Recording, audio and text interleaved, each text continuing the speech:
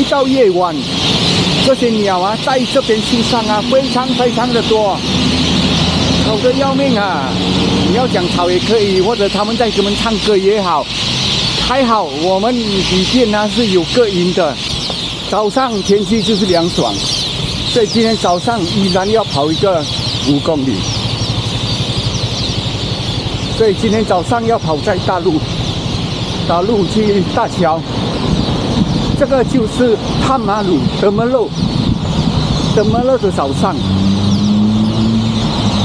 现在大概是六点，六点五十二分，天才刚刚要亮起来，七点了天亮，跑在吉隆坡到关丹的大路上。我这一段是在修路，所以跑在里面还算相当安全的。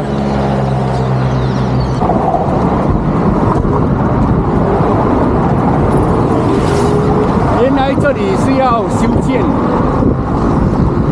另一座大桥，河的对岸就是一些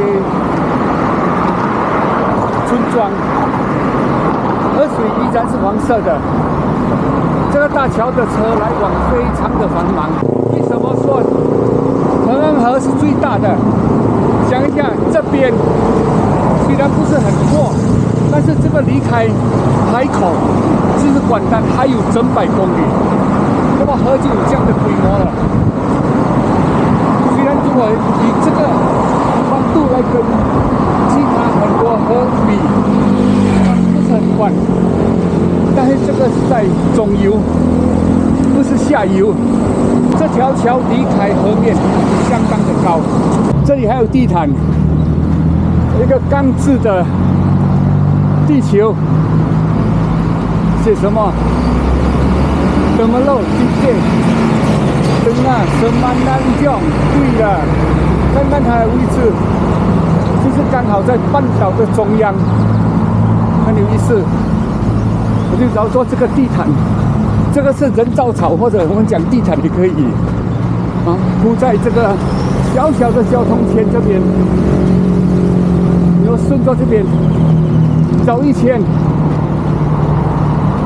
很有意思的。